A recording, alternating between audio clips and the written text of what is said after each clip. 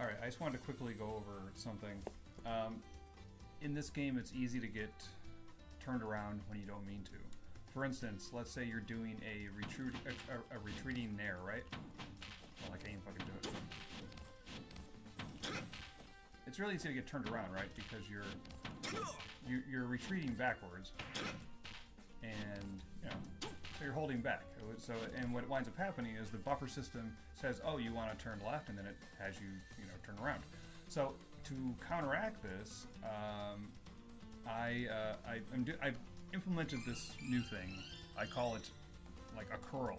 It's a quarter circle forward. Uh, well, a quarter circle forward in whatever direction you would like to face.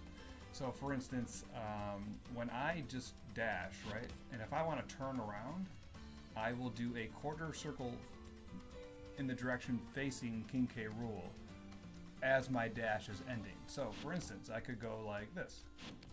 See how that's like nice and smooth.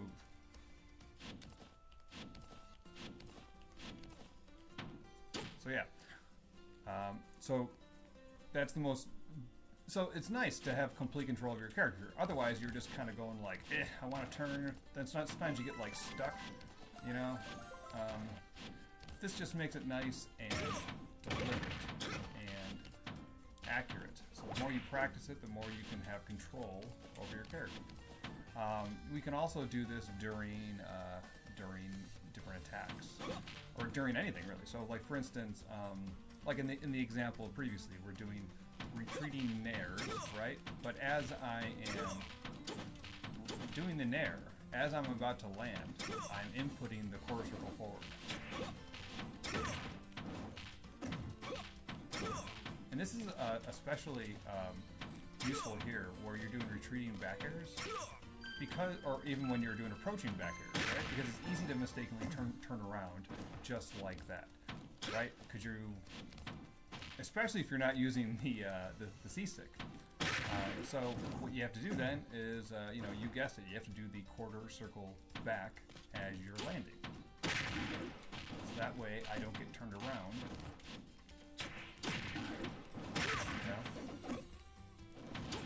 So, uh, yeah. Um, there are some other uses too. Uh, so it's not it's not just a uh, a way to mitigate mistakes but we can also do it um, to perform a combo maybe that we wouldn't be able to otherwise, or different things we can link up. For instance, if you ever did a down air as Falcon, sometimes you find yourself on the opposite side, and then you can't do the knee. So, for instance, see there, I was able to do a turn around. Hold on. Yeah. So despite me, you know, crossing up, you know, if I if I don't do the turnaround, then I'm stuck with my back facing the guy, and I can't. I can do a back air, and that's cool, and that can often kill.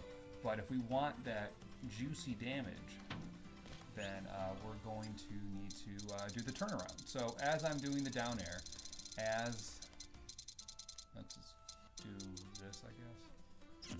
Yeah. As I do the down air, I'm inputting quarter circle forward in the direction facing K. Rool. If I can do it. there we go. So yeah, um, yeah, that's all I really wanted to, to share.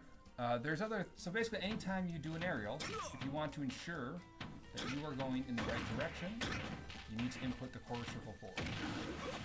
Alright. Um, yeah, that's it. Uh, thanks for watching.